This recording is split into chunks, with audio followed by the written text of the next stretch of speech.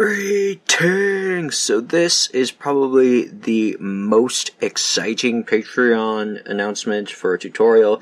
This has got to be by far my most favorite, favorite tutorial that I have done because it is just my aesthetic. So what I have to reveal to you is this freaking awesome armor ring.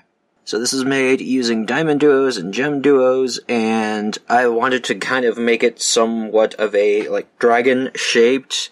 I think I've succeeded in an abstract form of it, but this is just a really freaking cool, articulated piece that I am very, very proud of. So, I am very, very happy to have this come out the way it did. I had, um, it wasn't, and it wasn't that much of a struggle either, so this is definitely an intermediate level tutorial, but um, I have made another one of these in the video as well, in some very interesting colors, kind of like a greeny, bronzy, like earth dragony type thing. So, if you want to check that out, we'll see the tutorial uh, later on. So, if you want access to make this tutorial, you'll find it down in my Patreon page at patreon.com slash Odin's Musings. It is only for $1 a month that you can get access to this tutorial, as well as all the other ones that I have posted before, previously,